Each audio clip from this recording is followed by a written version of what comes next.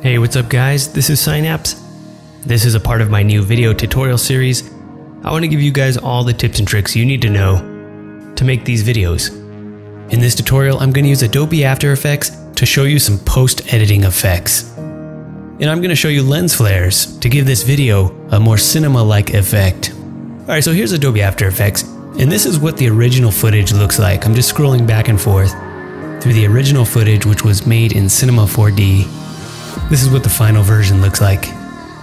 And you can see how the lens flares kind of move and flicker a little bit. So to do lens flares, I use Video Copilot's optical flares. So this plugin is awesome. I highly recommend it. I can pretty much make whatever kind of lens flare I want. So if you want to add lens flares to your video, this is the plugin that you need. Here I can position the lens flare where I want it. I can adjust the position, the brightness. I can use keyframes so the lens flare moves from top to bottom.